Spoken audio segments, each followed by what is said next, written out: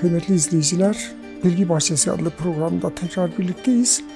Bugün çok önemli bir takım bilgisel repertuarlardan bir takım bilgi transferini hikmet ışıltıları düzleminde daha önceden yapa geldiğimiz üzere tekrar inşallah siz kıymetli izleyicilerimizin dünyasına aktarmaya gayret göstereceğim. Şimdi hemencecik panomuzda dikkatinizi çekeceğini düşündüğüm önemli bir e, bilgisel dışavurum var. İngilizce tabii her zamanki gibi bazen İngilizce bazen Türkçe aktarımlar yapıyorduk. Hemen yapıyorum. Interesting new research on how social justice facilitates ontological security and well-being as well as enhancing human flourishing. İnsanoğlunun her açıdan refahının tomurcuklanışının yanı sıra toplumsal e, ontolojik anlamda bir emniyet duygusunun e, tesis edildiği, iyi oluş halinin sağlandığı, toplumsal adalet tarafından nasıl bu söz konusu durumların kolaylaştırıldığına dair oldukça ilginç mi ilginç bir araştırma var. Kıymetli izleyiciler bir daha söyleyelim. İnsanoğlunun neşv nema bulması diye tabir ediyorlar ekonomistler, human flourishing. Her açıdan refahının tomurcuklanışının sağlanması anlamına geliyor. İnsanoğlunun her açıdan tomurcuklanışının teşvik edilişinin yanı sıra ontolojik emniyet ya da iyi oluş haline katkıda nasıl bulunduğuna dair sosyal adaletin, toplumsal adaletin işte bu bahsettiğim durumların iyileştirilmesine, teşvik etmesine ne şekilde katkıda bulunduğuna dair oldukça ilginç mi ilginç bir araştırma var kıymetli izleyiciler. Şimdi bunu biraz tabii açmak gerekiyor. Açılımını yapalım. Bu önemli bilgisel kırıntının, hikmet parıltısının, ışıltısının siz kıymetli izleyicilerimizin gerçekten çok dikkatini çekeceğini umduğum için hemen e, bir takım okumalardan ne tür e, hikmet ışıltılarını e, derip devşirdiğimi size aktarayım. Şimdi meta analitik araştırmalar var çok önemli. Çeşitli araştırma kuruluşunda gerek batıda gerek İslam aleminde gerçekleştirilmiş olan araştırmalardan bir tanesi sosyal adalet hem ontolojik emniyet, ontolojik güvenlik hem de her açıdan bir dengenin ince ayar düzleminde denge dahil olmak üzere her türden bir dengenin adeta bizim kendi öz referansiyel değerlerimizde karşılık bulan işte o ince ayar düzlemindeki bir takım takdir, karar, ölçü dahilinde ontolojik bütün bir varlık aleminin işleyişinin nasıl ortaya konulabileceğiyle ilgili gerek ayet-i celilelerde gerek hadis-i şeriflerde vuzuha kavuşturulmuş bulunan bizim kendi öz referansiyel İslami kaynaklarımızda da aynı şekilde toplumsal adalete ya da daha da üst bir kavram e, olan adalet, adaletin tesis edilişinin bütün bir ontik realite üzerinde bizim bilmediğimiz Rabbimizin bildiği bir muharrik, bir düzeltici, bir ıslah edici, bir e, ontolojik anlamda emniyete gark edici bir özelliğinin, bir bir faktöriyalitesinin olduğunu biz biliyoruz kendi kaynaklarımızdan.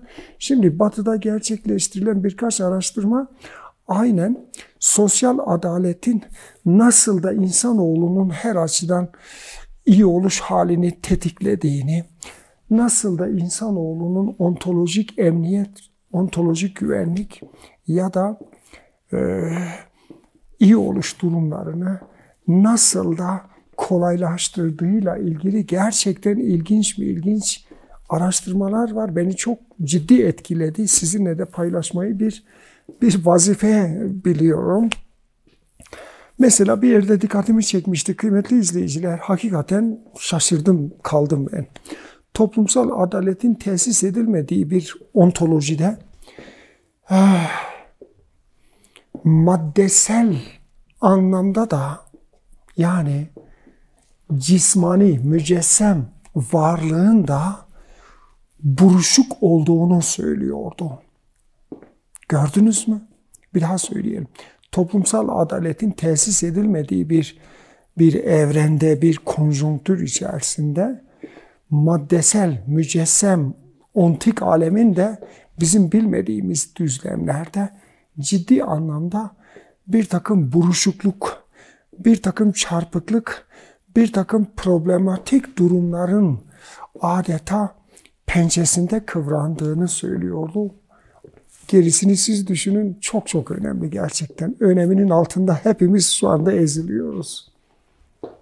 Başka bir araştırma. Sometimes what we call adversity or tribulation may be the only state from which new modes of being, new modes of well-being spring and flourish. Sometimes what we call adversity or tribulation may be the only states from which new modes of being, new modes of well-being spring and flourish.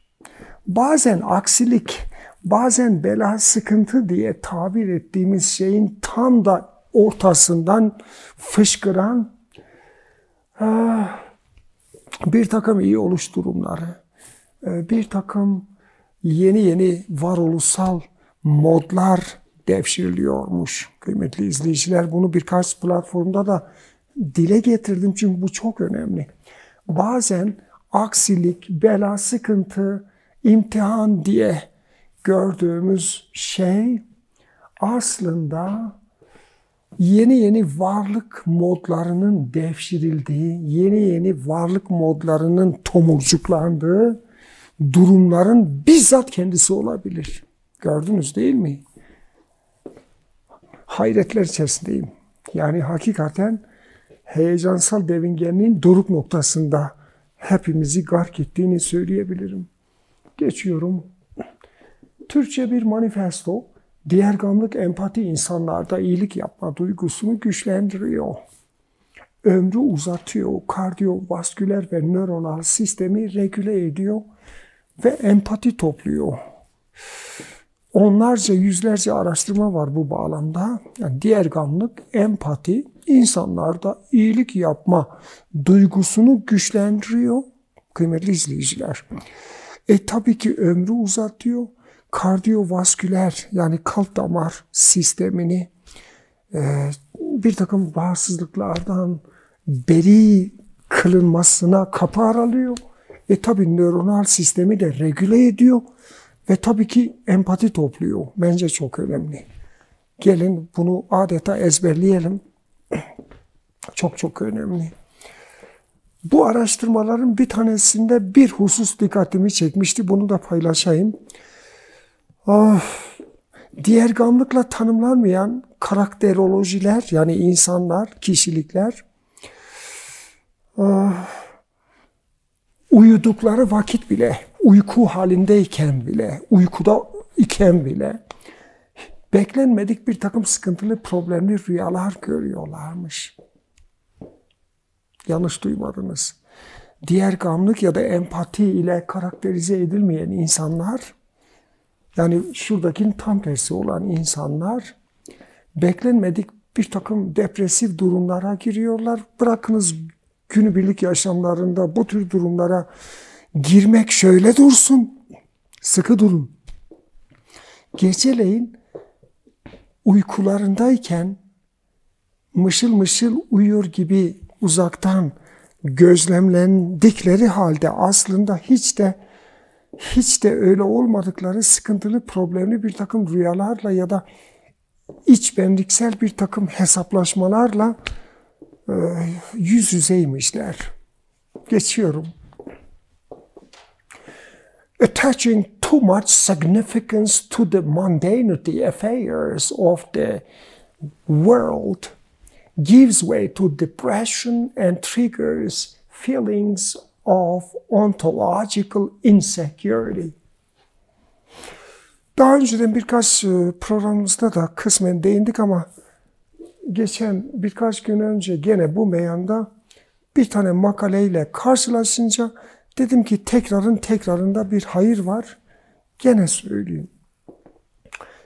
Günübirlik yaşamımızdaki bu dünyanın koşuşturmacalarına, koşuşturmalarına gerekenden fazla ehemmiyet atfetmek gerçekten depresif bir takım zihin ve ruh durumlarına yol açıyor. E tabii ki ontolojik emniyetsizlik, ontolojik güvensizlik duygusunu tetikliyor. O kadar açık, o kadar net ki daha fazla vurgu yapmama gerek yok. Gördünüz değil mi? Ama İngilizcesini bir daha söyleyip geçeyim. Attaching too much significance to the mundanity affairs of this world gives way to depression and triggers feelings of insecurity, ontological insecurity.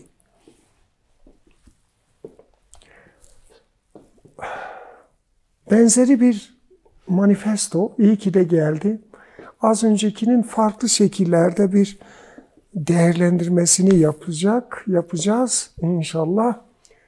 Geçmiş, gelecek ve hal arasında sağlıklı bir ontolojik ilinti kurmaya dayalı bir muhakeme biçimi, bir akıl yürütme biçimi, beklenmedik olasılık, imkan ve seçenek kapısını aralıyor ve tabii ki huzurlu bir zihin durumunu teşvik ediyor.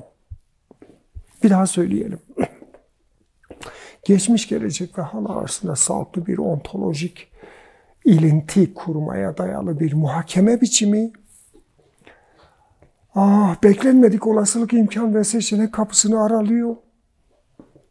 Ve tabii ki huzurlu ve e, tabii ki dingin, huzurlu bir zihin durumunu teşvik ediyor.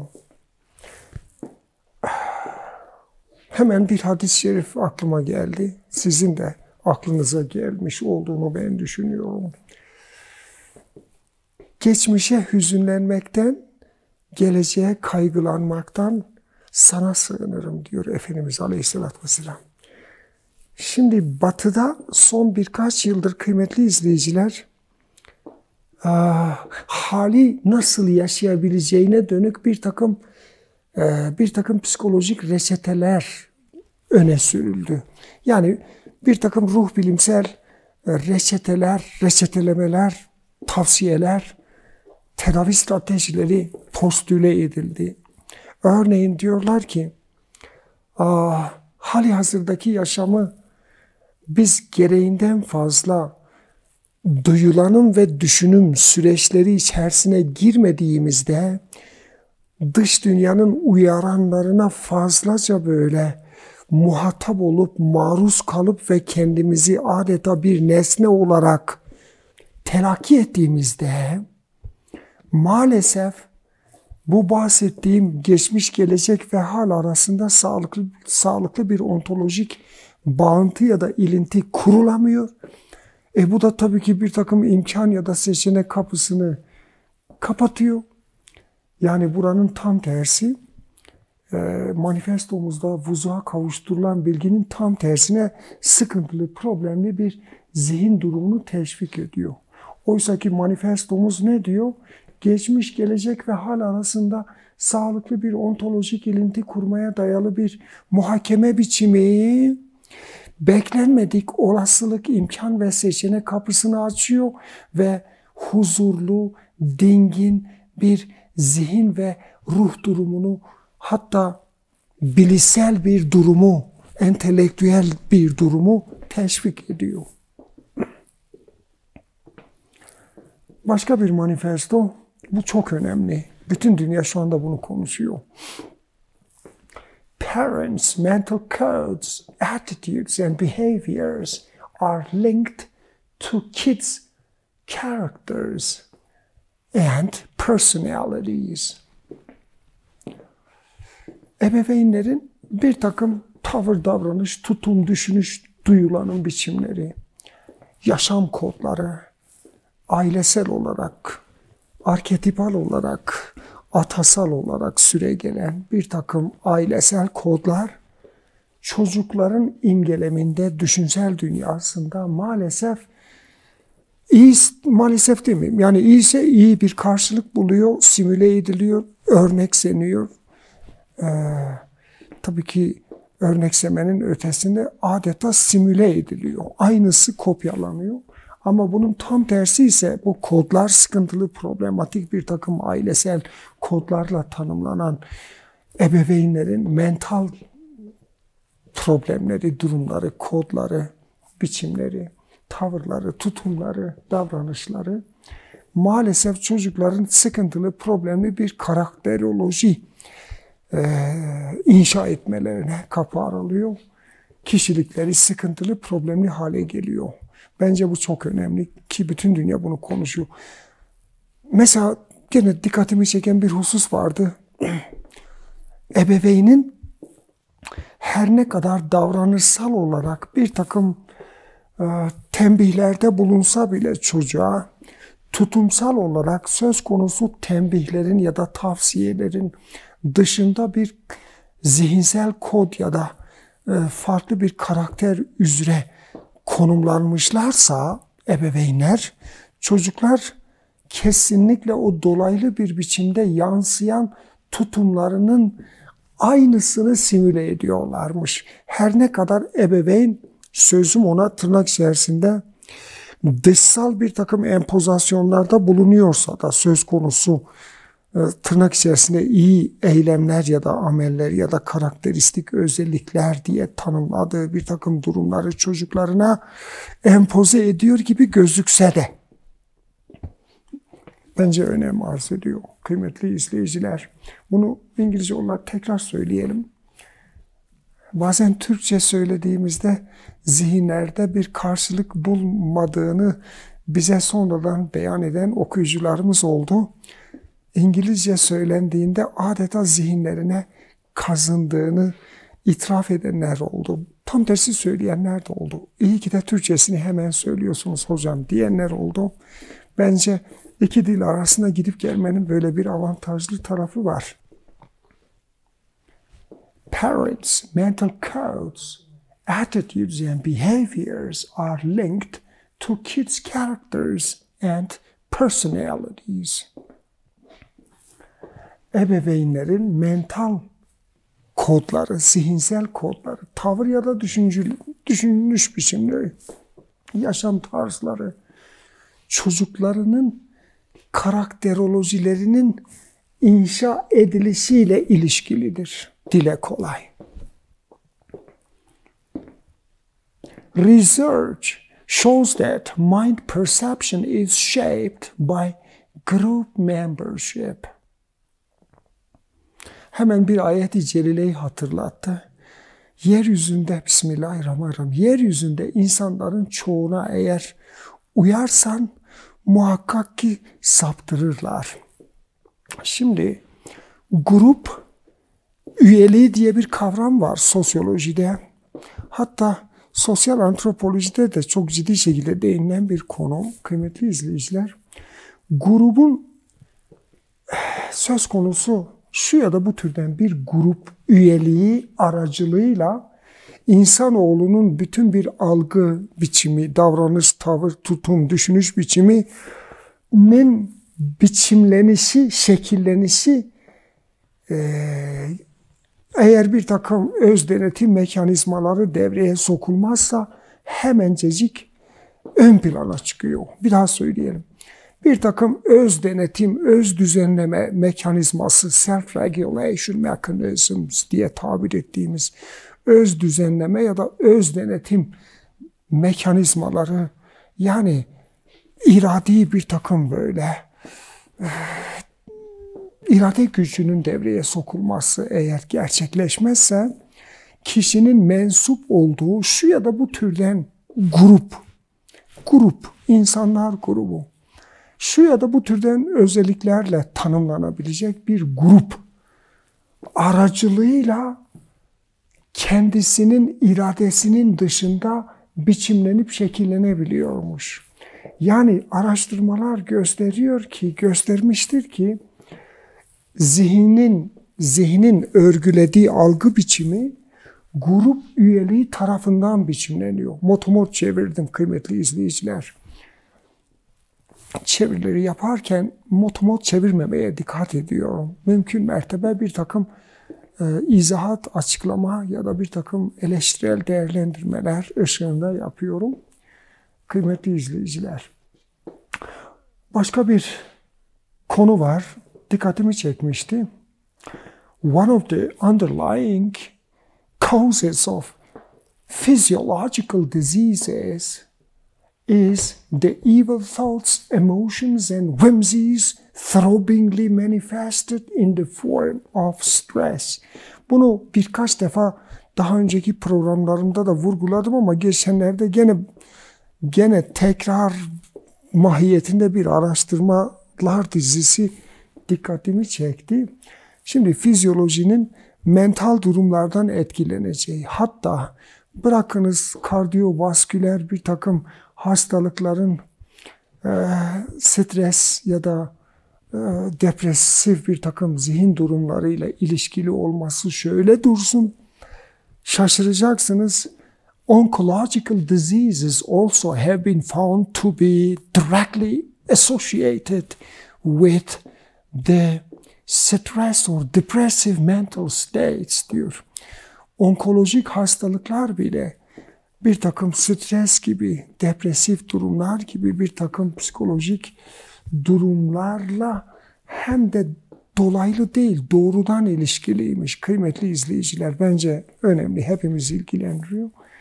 Ee, daha önceden vurguladığım hususta bu yoktu. Yani kardiyovasküler durumlardan bahsediliyor. Öteden beri bilinen bir bağlantısı var tabii ki stresle.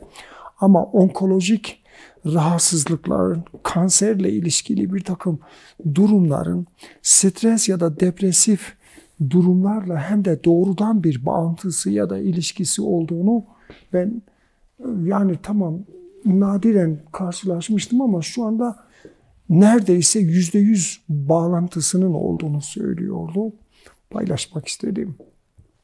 Hayatın evet biraz pedagojik bir mülahazanın yansıtıldığı bir e, dışa vurumumuz var. Bence bu önemli. Bütün eğitim bilimcilere duyurulur kıymetli izleyiciler.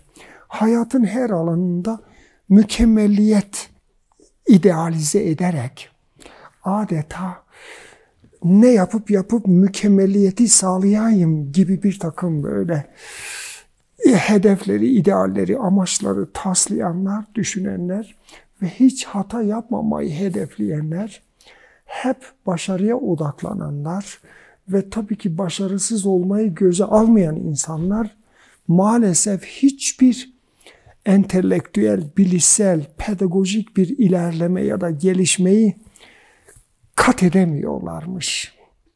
Yani dehanın bile kapısının aralanışının ön koşulu hata yapabilirliğin pekala mümkün olabilmesine inanmaktan geçiyormuş. Sayısız denli araştırmalar var kıymetli izleyiciler. Hatta geçenlerde okuduğum çok önemli bir husus bir takım ülkelerde bir takım eğitim sistemlerinin bir takım övgülere mazhar olmasının sebeplerinden birisinin hata yapmanın gerek öğrenci kitlesi gerek diğer bir takım akademik katmanlardaki öğretici kitlesi arasında kesinlikle eh, reddedilen, utanılan bir durum olmadığı ile ilgili bir kültürel kodun bütün toplum satına yaydırılmasından geçiyormuş. Yanlış duymadınız. Yani dehanın kapısının aralanmasının ön şartlarından bence en önemli şartlarından bir tanesi her an Rabbimin dilemesi, Rabbimin mukadderatının öngördüğü, Başarı Allah'tandır. Dolayısıyla biz görevimizi yaptıktan sonra başarısızlığa gark olmamızın kesinlikle herhangi bir herhangi bir e, küçümseme ya da cezalandırmayı beraberinde getirmemesi gerektiğiyle ilgili böyle bir pedagojik e, önemli bir araştırmanın önemli bir yeri yerinden oynatan paradigma değişimini adeta aralayabilecek bir bir araştırma var kıymetli izliyor. Bir değil birden fazla. Keşke bir olsa. Birden fazla son yıllarda böyle bir şey var. Geçiyorum. Evet, dolaylı olarak deminden beri aktardığım bir takım bilgisel kırıntılar, hikmet parıltıları ile ilişkili orantısal akıl ya da bilgi düzeyi varoluşsal risk ya da felaketlere karşı hazırlık, önlem, korunma konusundaki ikazlara uymaya yetmemektedir. Gördünüz mü? Demek ki orantısal akıl kişinin karşılaşabileceği herhangi bir sıkıntı, herhangi bir felaket, şu ya da bu türden herhangi bir herhangi bir kataklizmik, sarsıcı bir felaket, e, felakete karşı önlem alma, korunma konusundaki ikazlara yetmiyormuş. Bence burada yani benim acizane çıkarsadığım yine kendi öz referansiyel kaynaklarımdan esinlenerek söylemek ihtiyacını duyduğum bir şey var. Bir hakkın iman eden insanlar hariç iman etmeyen insanların bu bahsettiğimiz herhangi bir felaket, herhangi bir hastalık, sıkıntı, herhangi bir sarsıcı durum ma karşı ikazlarda bulunulsa bile en ufak bir önlem ya da korunma ihtiyacını duymayabileceğini ben söyleyebilirim.